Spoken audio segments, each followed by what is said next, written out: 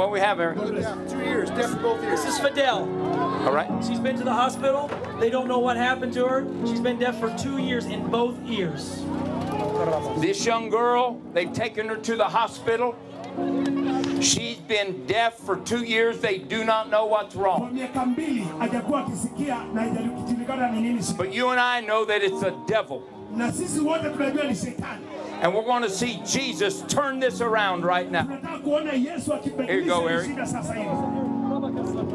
I command you in the name of Jesus, you spirit of infirmity, I command you, you devil, come out in the name of Jesus. Be opened in Jesus' name. Be opened in the name of Jesus. You hear that? You do? Yes. Oh, good. I command you right now, you spirit of infirmity, I command you right now to come out of her in Jesus' name. Be opened.